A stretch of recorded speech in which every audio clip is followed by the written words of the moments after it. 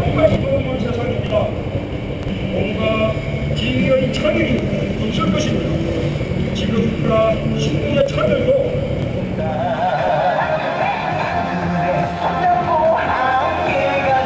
Well, as you can tell, it's election season again. December 19th is the presidential election.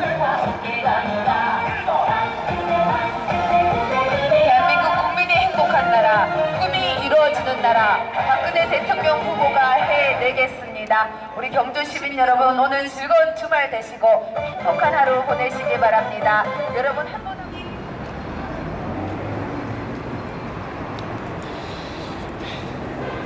That's the uh, Christmas tree in front of the train station.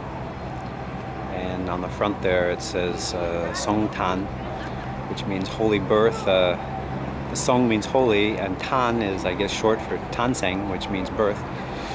Holy birthday, Christmas. And uh, it's December 1st. I guess you can put a tree up now, culturally, but. Uh, I'm kind of a, a firm believer in putting up the tree around Christmas, not three weeks, four weeks before Christmas. But who am I?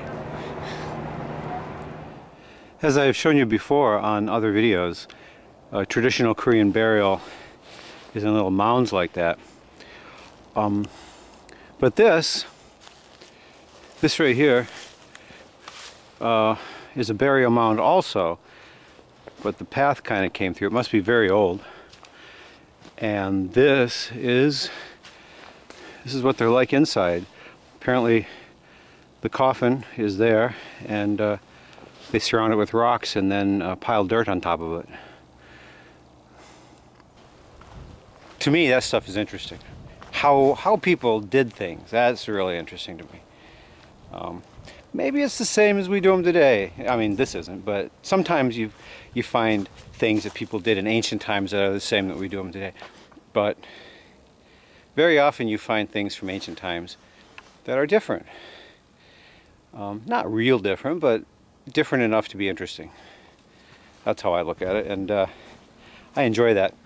Um, yesterday, I mentioned I was going to go look for a cache it was about six tenths of a kilometer away, if you recall. And the reason I didn't do it yesterday was because it is out here on the mountain and I just really didn't have time to go hiking. But today is Saturday and I have all day to go hiking. I was up at 6.30 this morning. I can't sleep in on my days off because I, I need to pack them full of things. I can't, sleeping in on a day off is absolutely the silliest thing I can imagine. Because it's your day off. You can do anything. Why waste a minute of it? So I'm going, this is the only, this is the only geocache in this area that I haven't found yet. So here I am. The, the cache is up there where this group is right now. I hope they're just passing through.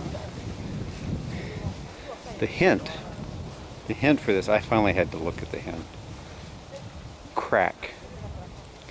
But the guy's Korean. And I'm not sure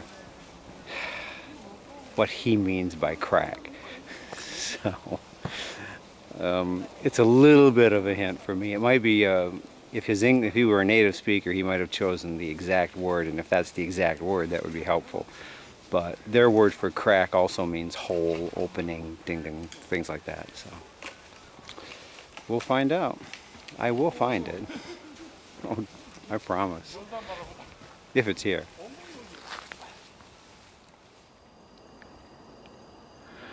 Well, yeah, I guess that's a crack.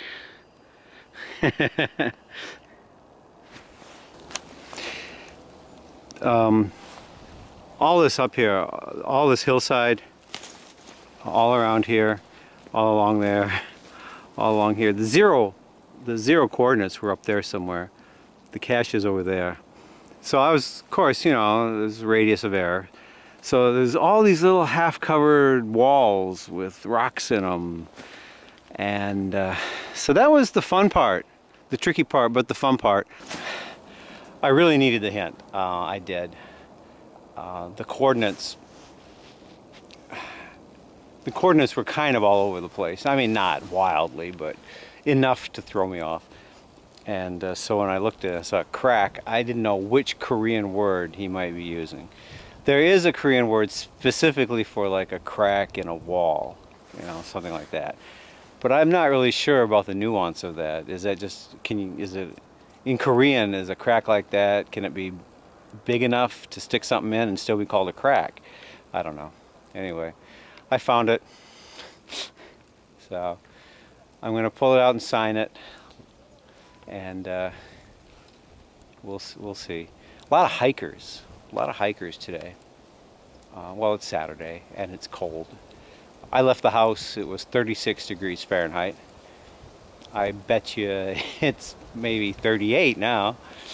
But uh, yeah, it's a brisk day. It's a good day. Good day for hiking. All right, let's carry on. Keep calm and carry on. There are some benefits, I guess, to being a Buddhist. Um, there's no such thing as sin. And to get to temple, you really have to want it. And you got to work your ass off to get to temple. I can appreciate that.